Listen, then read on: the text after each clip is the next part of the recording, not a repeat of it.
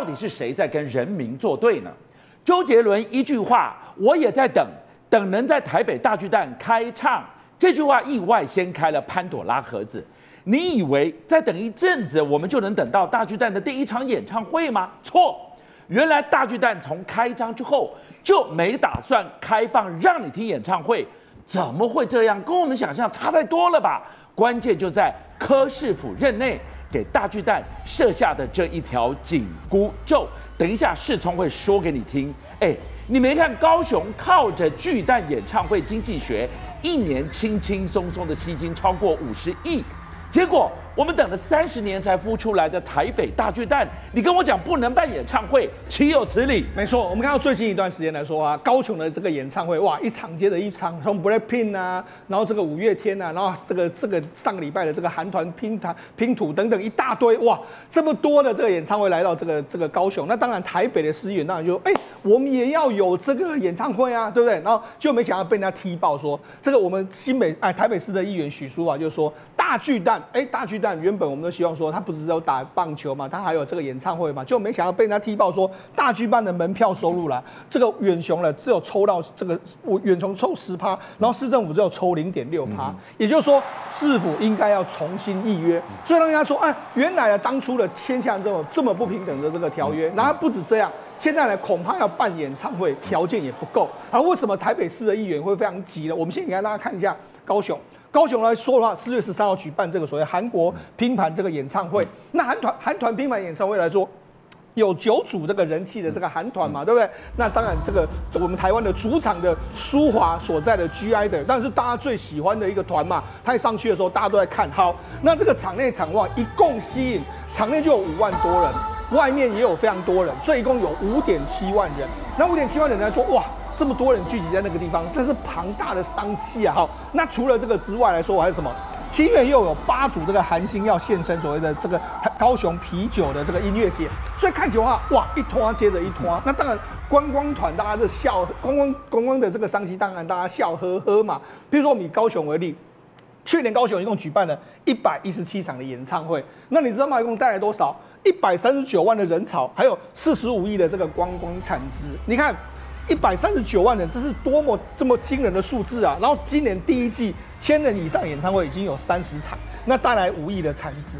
那预估今年全年的大型演唱会至少一百二十场啊！你就知道说，事实上这个高雄真的是变成演唱会的这个圣地呀。所以一颗金蛋跟彩地黑的收窄，它本身就是一个超级的印钞机，因为人带进来，演唱会唱到这么晚。这些人，你要他立刻坐高铁、坐火车离开高雄？当然没有，晚上在高雄过夜。对，没错。你看一个团接了一个团，你看刚才我们看到这个 CoPlay 等等，好，那于是根据这个高雄市政府的估算，他说四月十三号这个韩团拼拼盘的这个演唱会来说的话，他说歌迷留住留住在这个地方有百分之七十，那很多包括说像福华饭店还有芙蓉饭店住房率都飙到八成到九成啊，那你更不用讲，你看。韩团就直接到小港机场去，哎，小港机场也出现这么多人潮啊，很多，所以说我说这个商机辐射出去，比大家想象中都还要更多嘛。那也就是说，而且呢，高雄市政府也非常会做这个行销，他们把这个这个演唱会搭配所谓商圈的这个夜市的优惠券，就说啊，你来这个演唱会之后，还可以拿这个优惠券，然后吃东西还可以比较便宜，所以等于是让歌迷不只是来这边听歌，某些程度又拼了在地的这个观光啊。还有一个我们从来没有讨论过的面向，你知道？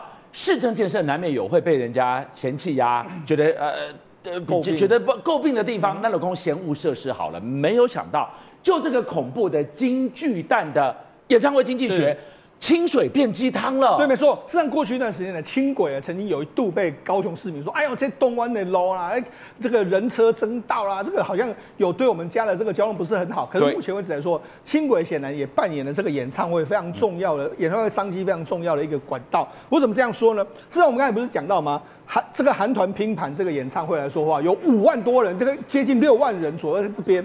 那你看，我们都很担心说发这种所谓这么多人聚集会不会有踩踏事件呢？就没想到这个五万多接近六万人来说话，在三十五分钟就疏散完毕，所以不致不会造成所谓太大的伤害。那为什么会有这样呢？主要就是有高捷公车加上轻轨三管齐下之后，让人员快速的疏散。那特别是我们就讲。轻轨过去一段时间可能有非常多的争议，但是我们看这个目前为止来高雄的这个红线这个捷运红线跟局线完成之后，一个十字嘛，对不对？那轻轨刚好是绕着这个高雄市一圈，所以等于是说他们三个都完成了之后呢，变成是一个所谓的网网状的一个这个路线图。那特别对轻轨来说的话，轻轨今年三月每日的平均运量已经来到三万人以上。比去年同期增加约莫百分之七十五，那这很多了。其实是谁？是观光客贡献的嘛？哈，那我就讲嘛，它设计在路中央嘛。那刚子很多卡都拜，阿北哦，哎呦这不好不好，然后就没想现在变成好。那尤其是他们现在有一个路段来说的话，就是有所谓的龙猫隧道，哎，嘛反而也变成是打卡的这个盛典，就是我们看到这个这个，所以就知道事实上轻轨已经变成是从过去的这个这个所谓淡这个这个淡水变成是鸡汤的一个状况。所以啊，观众朋友，我们看到了高雄是一家烤肉万家香。现在它不只是巨蛋的演唱会经济学抢头香，它真的是吃好吃满。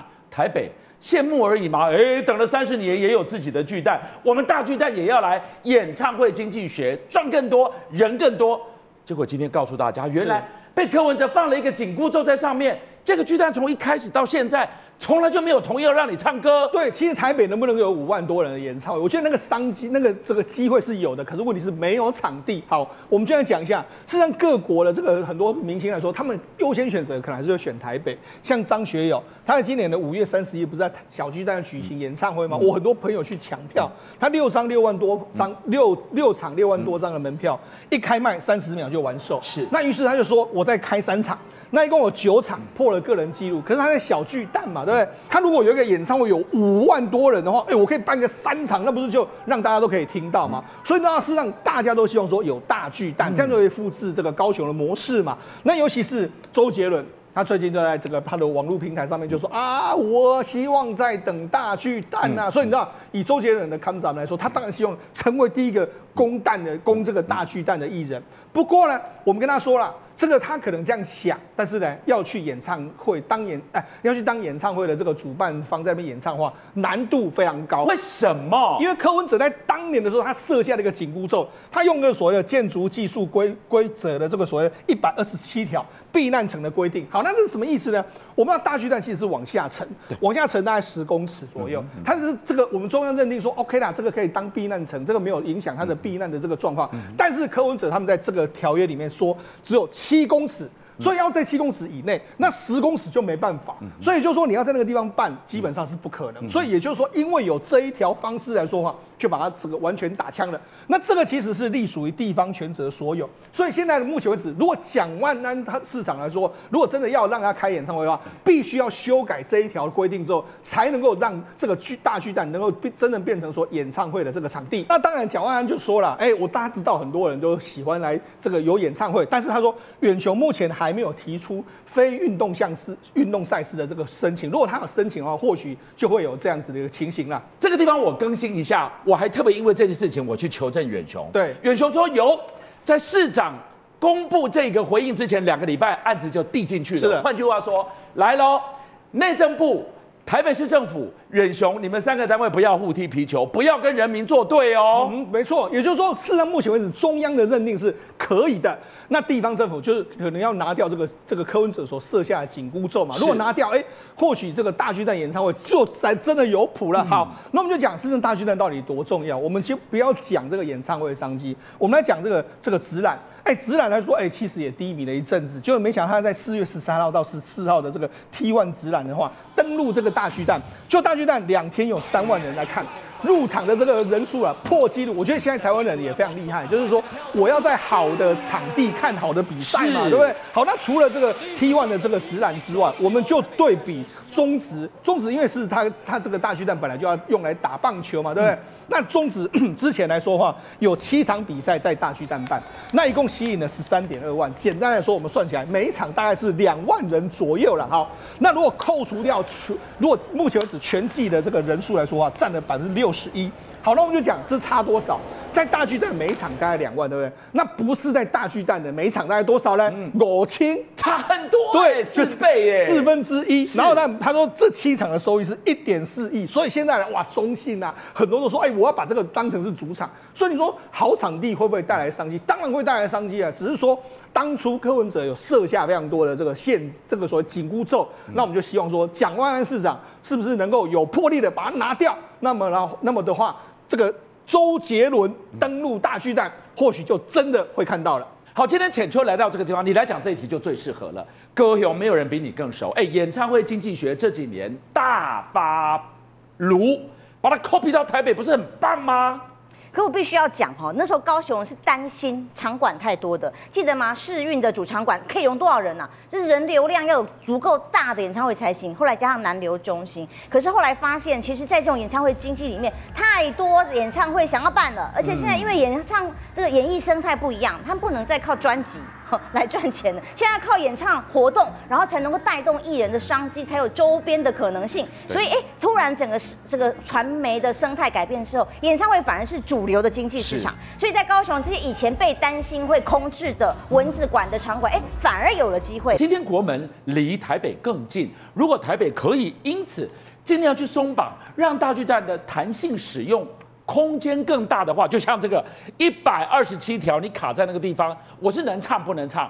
拜托一下市长，高抬贵手的话，以台北的 location，台北的这么殷殷期待的话，那商机不是更大爆发了吗？因为台北更有机会吸引国际的来看演唱会的人口，因为你只看自己内需是没有用的，内需今天看完就回去了，住住房什么不会增加太多。但如果台湾的这个演唱会在台北办，其实因为包括桃园呐、松山机场啊，如果可以吸引国际游客来的时候。它才是真正一个城市最大的商机，一个国家国门的商机。那可惜，我真的觉得不可思议。说实话，我也是后来你你们一讲，我发现天哪，大巨蛋那么多演唱会希望办，因为台湾是演唱会场地现在严重不足的，大家抢场地不 king。我们之前在策展公司要办活动的时候是抢不到场地的，而且贵的半死。很多演唱会的艺人一辈子的梦想，贵的半死，硬卡要卡下来。现在是没有场地可以办，居然大巨蛋已经出来的时候，他不让你办了。五七报新闻的所有。好朋友，你们给了我百万的订阅，真的无限感激。我要跟大家瞪眼看，